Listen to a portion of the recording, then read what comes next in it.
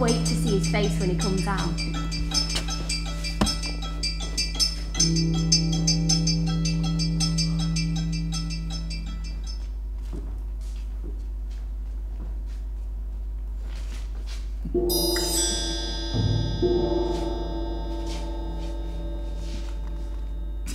Oh, sorry, I didn't mean to. Um, three, please. I like your shop. It's incredible. If I owned this shop, I'd sell every kind of lollipop. I mean, num dum.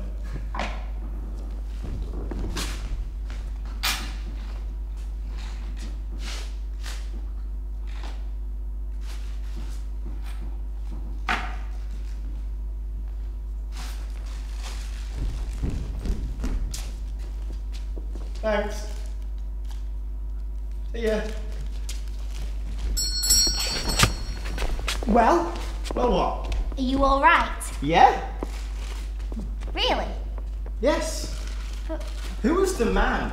that's old timer. Old timer. what kind of name's that? His name? Can't be his real name. It's what everyone calls him. So what's his real name? Nobody knows Why?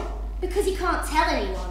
Why? because he can't speak. Why? Because he hasn't got a tongue. No one's ever seen him outside the shop. He's never left the shop He's been in there all his life, on his own not speaking. to anyone. What do you mean he doesn't have a tongue? Well, you know that thing in your mouth? Not stupid. It was a stupid question. Was he born without a tongue? No. Did he have a disease? No? Did he have an accident? Well, Sort of. So why doesn't he have a tongue? Say what? The tongue twister. The tongue twister. You don't know what the tongue twister is? I know what a tongue twister is. What do you mean, a tongue twister? There's only one. Well, there isn't. There's loads. no, there's only one tongue twister, and that's enough for me. I know loads of tongue twisters. You know loads of tongue twisters! Of course. Don't you? How can you know a tongue twister? Nobody knows him. Him. There's only one way to know him. Peter Piper picked a peck of pickled peppers. If Peter Piper picked a peck of pickled peppers, where's a peck of pickled peppers Peter Piper picked? What did you just do? How did you just do that? what? All those peas. Takes a bit of practice. They're easy after that. There are more. Loads. How many? Hundreds. Wow. Say another one. Betty Botter bought a bit of better butter. If Betty Botter bought a bit of better butter, where's a bit of better butter Betty Botter bought? That's amazing. Say another I don't think he should. He hasn't, you know, Does he need to? I'm not sure. Did he say one? You better do it just in case. Do what? What did I say? In that P thing you just said. Peter Piper. Yeah. And the B one. Betty Botter. Yeah, yeah, yeah. Did you just. Did I what? Rhyme. Rhyme. No. Phew. It probably would have been too late for you anyway. You are so lucky. Maybe I'm a poet and I don't know it. Oh no! Why did you do that? Say it! Say what? Part of the tongue. Just say it! Stop messing around. I'm not. You're hearing this coming, say it, say it, say it! Pardon the tongue that sung. Don't you ever do that again. Ow. He almost had you. What are you talking about? Who almost had me? The tongue twister. When did you say the pardon? Didn't know it. Everybody knows it. Pardon the tongue that sung. Yes, the whole thing. Hey? Pardon the tongue that sung. It's a crime to be rhyming. One twist and you're miming. Oh, pardon the tongue that sung. So what does this tongue twister do? Isn't it obvious? It only takes one twist and you're mute forever. One twist and out it pops. Just for rhyming? Yep. Doesn't he like it or something? It's illegal. It can't be illegal, it's only rhyming. That's what Old Timer thought Until he came one night when Old Timer was just a boy and twisted out his tongue. and pickled it into a jar.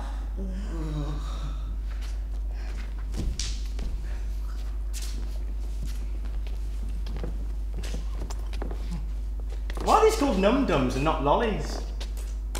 Huh? I said, why are these called num dums and not.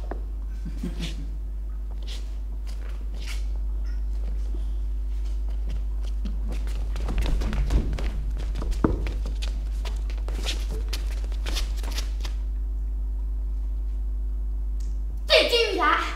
It wears off.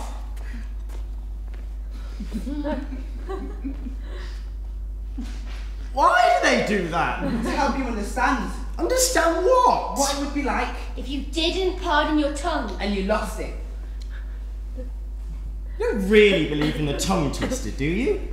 He's real. What does he look like? he's 10 feet tall. No, he's, he's 12 feet tall, And he's thin as a rake. as thin as a beanpole, That's been on a diet. and his fingers are bony As long as branches. as tree roots. spiraled and misshapen. He pinches out your tongue between his thumb and his finger. And once he's caught it, it's too late. There's nothing you can do, nothing you can say. It creaks and it cracks until it snaps, and then he dangles it in front of your eyes from his knobbly fingers. And then it's not your property anymore. It no longer belongs to you. He adds it into his collection. Jars and jars of pickled tongue from floor to ceiling. A thousand voices shelved, stacked up in silence. So remember, next time you feel inclined to rhyme, Shh! But if it comes out by accident, then there's only one thing you can do. beg him to pardon the tongue that sung. Or else, num dum you will forever become. Hang on a minute, didn't Here you? you are. Hello, Miss Primer. Come along now. We're going to start the binary code today. Binary what? Oh, don't worry, Plug. Sure you'll catch up in no time. We'll start slowly. Just the 29 times table for now. We better go. This way, Cluck. I'll catch you up. Come along.